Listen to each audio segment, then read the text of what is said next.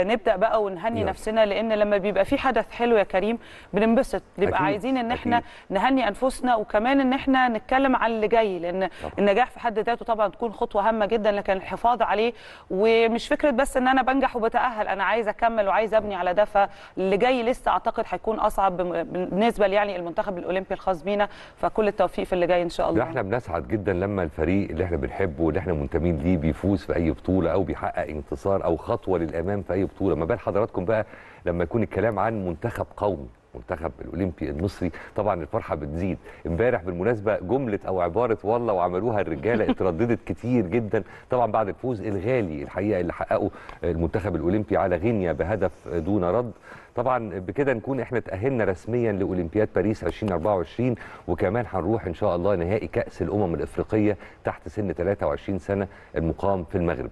سجل هدف الفوز محمد شبانة وكان الهدف الوحيد في المباراة وده حصل في الدقيقة 8 يعني نقدر نقول إن ده كان هدف الحسم المبكر.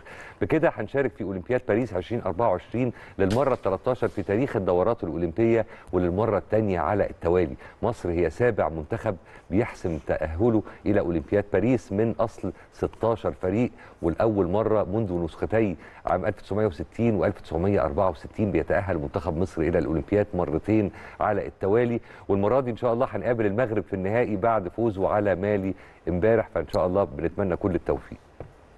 هنرجع نقول تاني طبعا مبروك لمنتخبنا.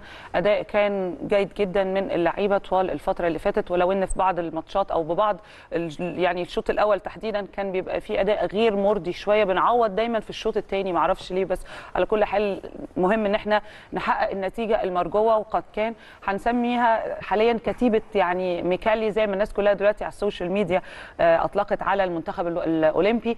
وخلينا نتكلم إن أنت ما استقبلتش أي أهداف في ثمان مباريات رسمية وده أعتقد إنجاز كبير لو إحنا أكيد. اتكلمنا بلغة الأرقام أو بالفنيات شوية. يعني زي ما أنت قلت فعلا عملوا أداء رائع جدا تاهلوا لاولمبياد باريس. بس اللي جاي أصعب واللي جاي أهم واللي جاي محتاج تركيز أضعاف أضعاف الفترة كمان اللي فاتت.